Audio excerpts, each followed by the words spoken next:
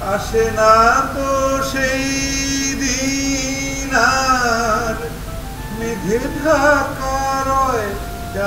চঞ্চলের গান শুনে প্রধানমন্ত্রীর বিস্ময় প্রকাশ। এ সম্পর্কে বিস্তারিত জানুন। অভিনেতা হিসেবে খ্যাতি পেয়েছেন বটে, তবে গায়ক হিসেবেও কম নন চঞ্চল চৌধুরী।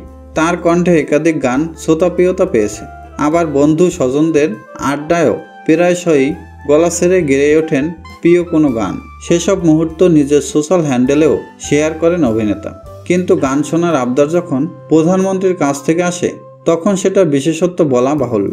হ্যাঁ প্রধানমন্ত্রী শেখ হাসিনাকেই খালি গলায় গান শুনিয়েছেন চঞ্চল, যেটা শুনে মুগ্ধ হয়েছেন করতালি দিয়ে প্রশংসা এবং বিস্ময় প্রকাশ করেছেন প্রধানমন্ত্রী। ঘটনা বেশ কিছুদিন আগের। স্পষ্ট করে বললে, গত তেরো অক্টোবর রাতের, সেদিন মুক্তি পেয়েছিল বঙ্গবন্ধু শেখ মুজিবুর রহমানের জীবনী অবলম্বনে নির্মিত সিনেমা মুজিব, একটি জাতির উপকার তার মুক্তির দিন রাতেই ছবির শিল্পী কুশলীকে নিজ ভোজের নিমন্ত্রণ দেন প্রধানমন্ত্রী শেখ হাসিনা। গণভবনে হাজির হন ছবির সিংহভাগ তারকা। সেই আয়োজনে প্রধানমন্ত্রীকে গান শুনিয়েছিলেন চঞ্চল। এ সময় আরও উপস্থিত ছিলেন বঙ্গবন্ধুর কনিষ্ঠ কন্যা শেখ রেহানা ও সিনেমা অঙ্গনের তারকারা। চঞ্চল গেয়ে শুনিয়েছিলেন, ভূপেন হাজারিকার বিখ্যাত গান চোখ ছলছল করে, যেটা নীরব মুগ্ধতায় শুনেছেন প্রধানমন্ত্রী ও তার বোন। গান শেষে দুজনেই করতালিতে ভালোবাসা প্রকাশ করেন।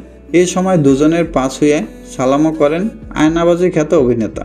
স্মরণীয় মুহূর্তটি নিয়ে গণমাধ্যমকে বলেন, মুজিব সিনেমা রিলিজের পর প্রধানমন্ত্রী আমাদেরকে নৈশভোজের নিমন্ত্রণ জানিয়েছিলেন। সেখানে বড় আপা এবং ছোট আপা বলেছিলেন গান গাইতে। সেই সুবোধে গাওয়া। গান শুনে দুজনেই প্রশংসা দোয়া করলেন। গান শুনে প্রধানমন্ত্রী ঠিক কি বলেছিলেন? প্রশ্নটা এলো প্রাসঙ্গিকভাবেই। জবাবে চঞ্চলের ভাষ্য, প্রধানমন্ত্রী বলেছেন, অভিনয় তো তুমি ভালোই করোই। এ তো ভালো গান গাও, সেটা তো জানতাম না। এছাড়া ছোট আপা আমার অভিনীত সব সিনেমা, নাটক, সিরিজ দেখেছেন।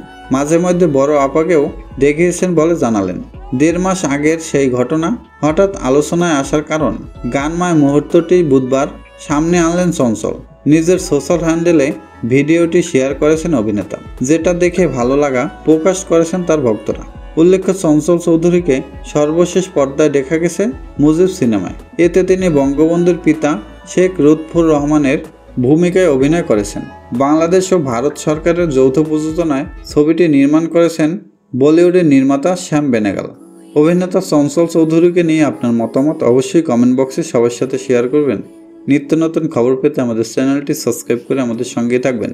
সবাইকে অসংখ্য ধন্যবাদ।